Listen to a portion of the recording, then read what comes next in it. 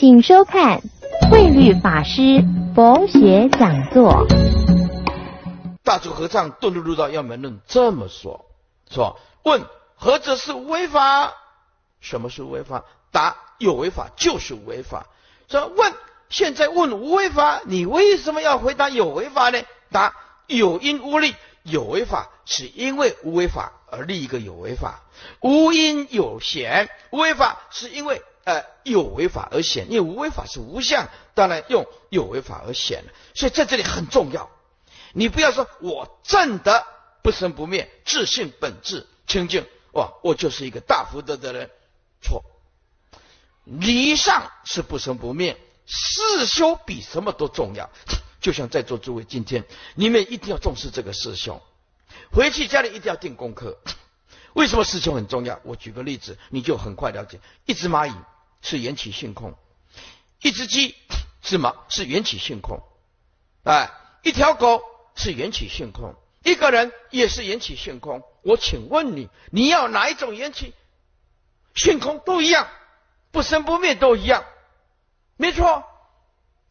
不生不灭，当体即空，都是一样，没有什么生灭来去增减，没什么好谈的。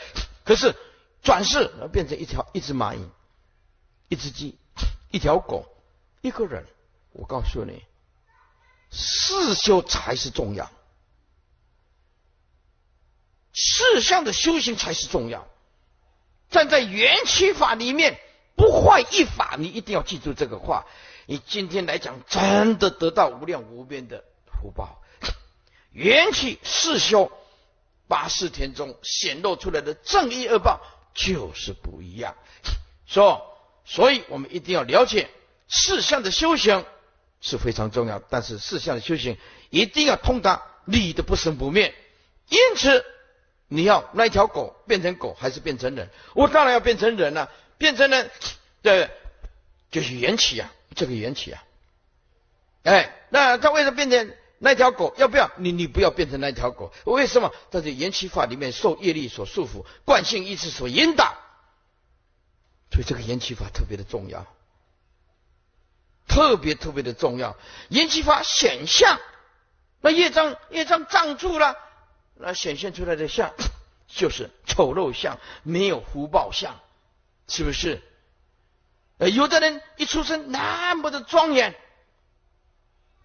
嗯，有的人一出生那么的安全，啊，有的人出生那么的高大，男子大丈夫；有的人出生那么的袖珍，哎啊，业力不一样，是不是啊？业力不一样。好，所以说啊，所以说啊，什么是有为？哎，就是因为无为而立。什么是为？因为有为。所以说。何者是无为法呢？啊，答有为法就是无为法。所以，哎，问了，现在问无为法，你为什么回答有为法呢？答有因无利，有为法因为无为法而立，无为法因为有为法而显露。所以，刚刚我已经强调了缘起的重要，这个拜佛念佛，这可是很重要的。